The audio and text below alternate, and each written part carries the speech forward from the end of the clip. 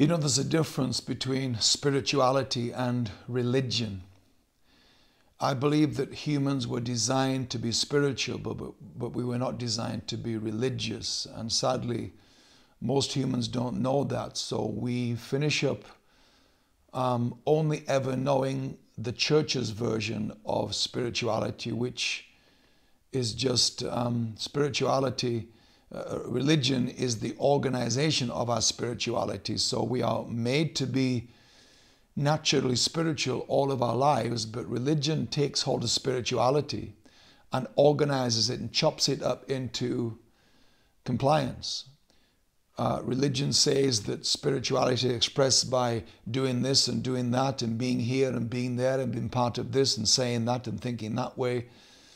So what religion does, it starts to it starts to prescribe behaviors to us that it tells us when we do those behaviors, particularly in the church, that we are therefore spiritual people. And the more we are doing those things, the more spiritual we become. And it's just not true that human beings were not designed to be religious. God is nothing to do with religion.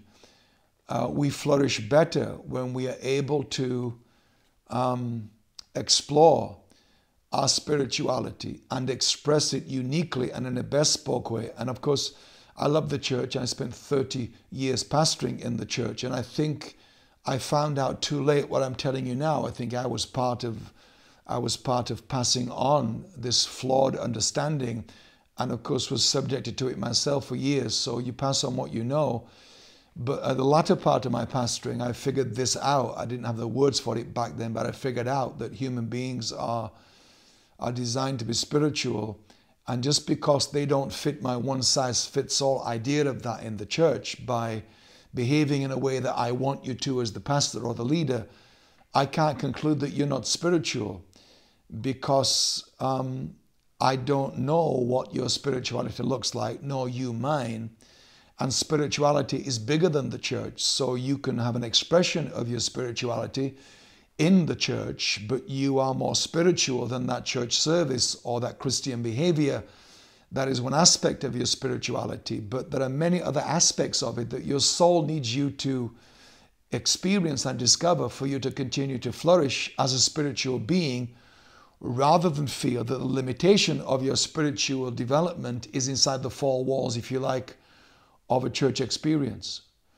So I think often we mistake spirituality for religion, and I don't want you to do that anymore because I did for years, and I think I and I think I didn't help people figure out what I'm telling you now. So I'm wanting to come and uh, and say in this version of me that I give my time over again, I think I would have celebrated much more people's unique, individual, bespoke ways of being spiritual. I would have taught it more. I would have celebrated it more in the church so that people in the church got the idea in the culture I was creating that I do not have a one size fits all idea of what I think can legitimately be called spiritual.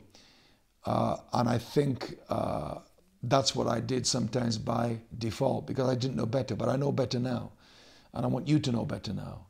So please don't let religion tell you this is what spirituality looks like and then condemn yourself if you don't feel you match up to that requirement because you your spirituality is vast vast vast vast. And your church experience is only a small expression of that. So spirituality and religion are different things. You were created to be spiritual not religious. Don't let one become the other